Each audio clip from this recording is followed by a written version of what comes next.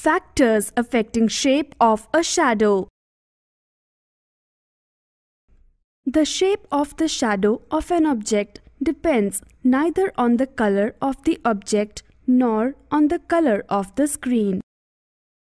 If the distance of the object from the source is decreased, then the size of the shadow increases. Provided the distance between the source and the screen is constant. Maintaining the distance of the screen from the source, if the object is moved away from the source, then the size of its shadow decreases. If the distance between the object and the screen is constant and if the light source is moved towards the object, then the size of its shadow increases.